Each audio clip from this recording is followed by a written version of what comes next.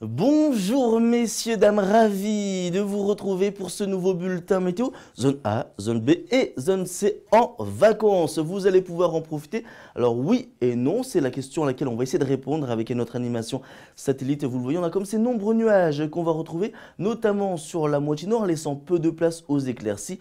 Par contre, plus au sud, vous le voyez, davantage de luminosité avec au programme des éclaircies, mais également du soleil à.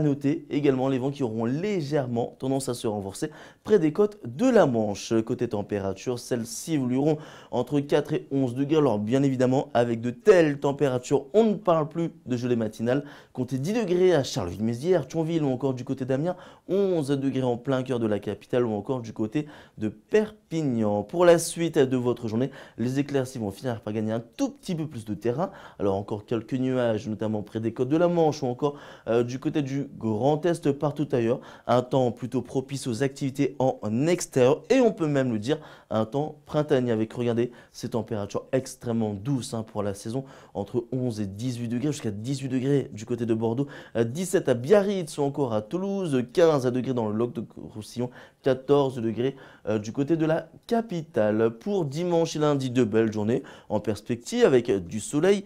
Mardi, un temps plutôt calme, puis à partir de mercredi, malheureusement, le retour des perturbations, euh, bien évidemment, au vu de cette échéance, les amis, nous y reviendrons lors d'un prochain bulletin météo. Passez une excellente journée, un très bon week-end et même de bonnes vacances.